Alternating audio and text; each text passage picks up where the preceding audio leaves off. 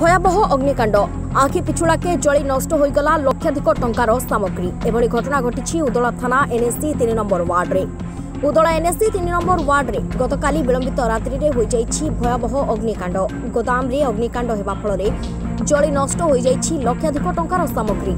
তিন নম্বর ওয়ার্ডে দিলীপ কলিয়াঙ্কর পতঞ্জলি সামগ্রীর গোদাম রয়েছিল ଯାହାକି গতকাল বিলম্বিত রাত্রে গোদামে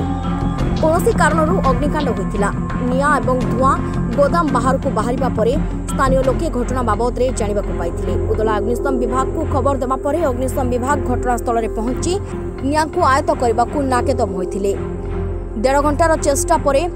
ଅଗ୍ନିଶମ ବିଭାଗ ନିଆଁକୁ ଆୟତ୍ତ କରିବାରେ ସକ୍ଷମ ହୋଇଥିଲା ନିଆଁର ଭୟାବହତା ଏତେ ତୀବ୍ର ଥିଲା ଯେ ନିମିଷକେ ପୁରା ଗୋଦାମରେ ନିଆଁ ବ୍ୟାପି ଯାଇଥିଲା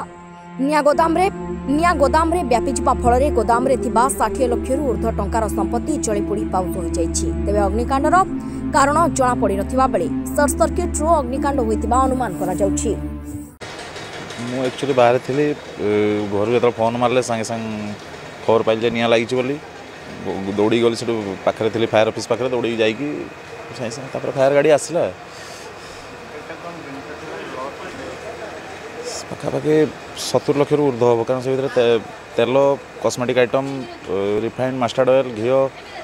बहुत सामग्री टाइप रहा सब कस्टली आइटम सब थी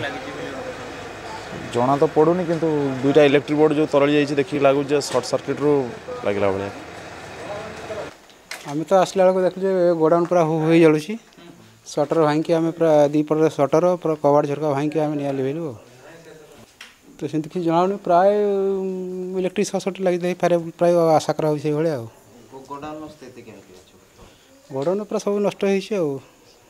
ମୟୂରଭଞ୍ଜରୁ ତପନ କୁମାର ସେଠୀଙ୍କ ରିପୋର୍ଟ ଓଡ଼ିଶା ସମାଚାର